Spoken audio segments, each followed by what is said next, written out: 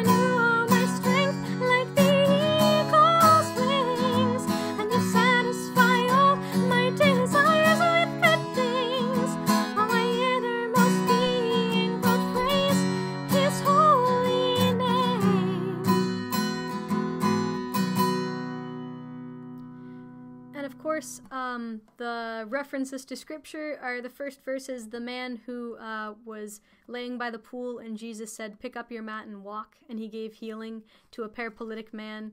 Uh, the chorus comes from uh, Psalm 103, verses 1 to 5. Uh, in the third verse, the second verse, third stanza, uh, is the girl who's healed. Uh, her father comes to Jesus and, and, and asks for a blessing.